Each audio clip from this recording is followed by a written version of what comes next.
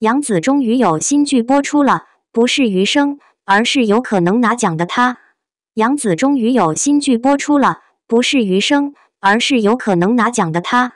文章由有才情的女子原创，严禁转载，侵权必究，全网搜索，无处藏身。杨紫自从凭借《香蜜》和《亲爱的热爱的》火了之后，其实就一直没有好好休息，一直都是马不停蹄的拍戏当中。跟迪丽热巴真的是有的一拼。其实，在九零后女星当中，也就杨紫跟迪丽热巴的人气比较能打了。相较于演技，还是杨紫更胜一筹。只不过迪丽热巴还是胜在人美身材好，人气也稍有优势。而杨紫胜在口碑好，演技佳，性格也不错，所以两人各有千秋。但是总感觉杨紫跟迪丽热巴还是有明显的区别。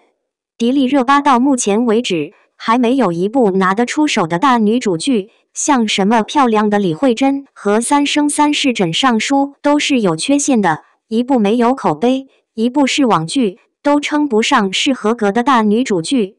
而杨紫则不同了，但是总感觉杨紫近一两年的运气不是特别好。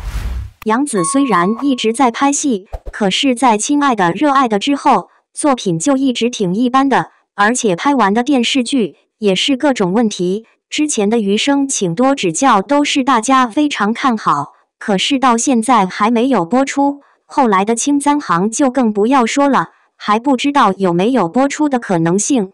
再就是沉香如屑还是替补的，感觉最大希望的还是跟景柏然合作的女心理师。